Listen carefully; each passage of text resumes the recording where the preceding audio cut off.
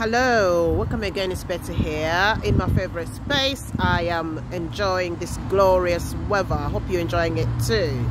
Um, I just um, was reflecting and I thought I'd share this with you that gratitude is the best multiplier. And also trusting yourself.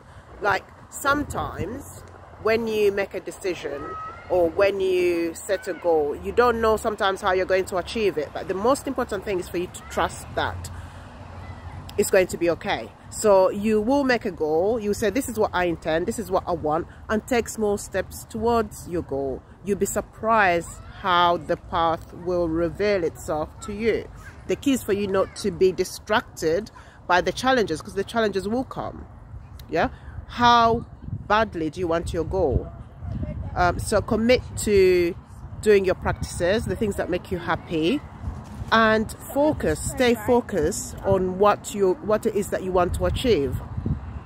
And trust me, it the path will be clear. So the, the key is sometimes the, the, the problem is sometimes people will not set their goals or will not set their vision because they're distracted about uh, life, you know, like they have to go to work, they have to make ends meet. The, the thing is, when you're working for somebody else sometimes you can be distracted from what it is your vision is. What is it that you want for your overall aim? What is your goal? You know you don't you don't want to end you you don't want to reach a point in your life where you've given so much of your energy to somebody else's dream. You need to focus on what it is that you want. What is it that you what is it that you desire? Yeah? So yes. So that's what i wanted to remind you of that just remember to stay focused and to trust that journey that you're on that the path will be clear. Um, yeah so today i was um, out of my comfort zone i took action and i can see the road is paving and the road is becoming clear.